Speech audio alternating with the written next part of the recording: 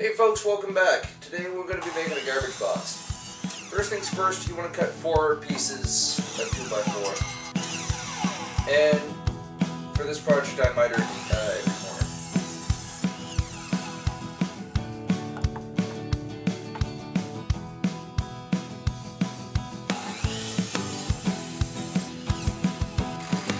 You want to screw those bad boys together.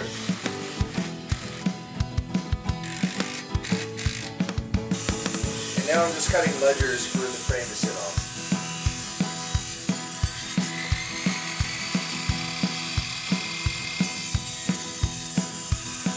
And I wouldn't really recommend using a table saw this way. You'll want to use a push stick.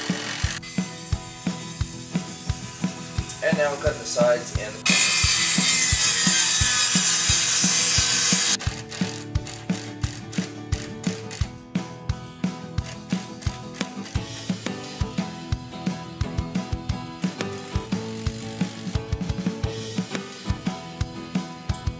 Now I've cut about a billion pieces of strips to uh, form the basket.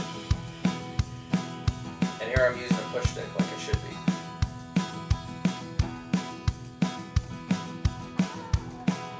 Slide those in. Some of them you will have to screw on one side or the other,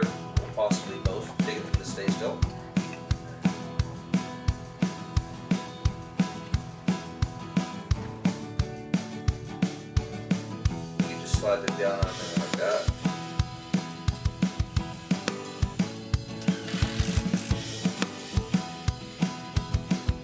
And I cut off the top, and I cut off the remainder.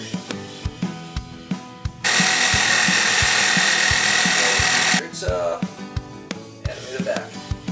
I I decided to make the back a little higher than the front. That way the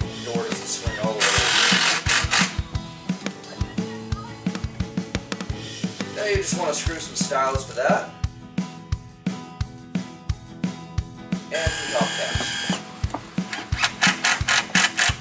Voila, there you go, garbage box.